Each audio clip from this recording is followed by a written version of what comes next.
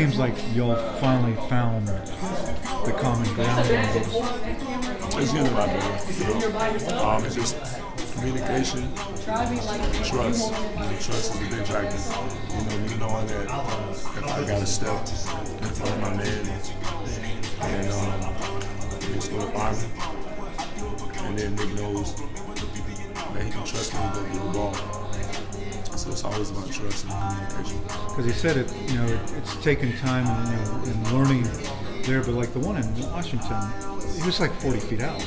Yeah, it just, was. And just waiting. It's like nobody in the building didn't know that was like what he was looking for, and yet it still happened. Yeah, I mean, the, we want to get better at it. You know, um, back when I was in Orlando, you know, Hedo. Uh, once we got that down pat, you know, it was just it was just natural. The teams that have no, no way to defend it, and um, And Hedo's also a big guy who can throw it over. I mean, Yeah. he's, he's taller than most defenders. yeah, so you know, we we we getting it right. You know, so it's just all about uh, trust. You know, like I said, that's the biggest thing.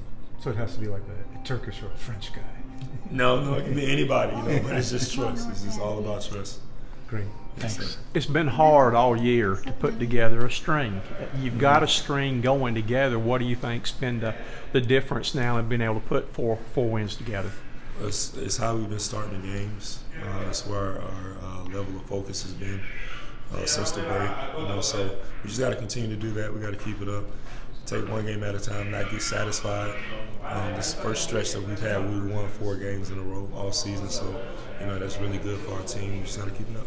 How big was the All Star break? First of all, did you enjoy your All Star break? Personally, I thought you should have played in the All Star game. I'm mad though, but did you enjoy your break and what did that do for the team? Uh, just I took some time off to really just uh, refocus in my mind and my body uh, right for the next half of the season.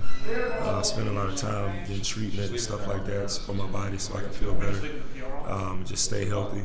Um, other than that, just train and just mentally prepare myself for the second half of the season. Well, you're rolling now. Keep it going. Yes, sir. Thank you.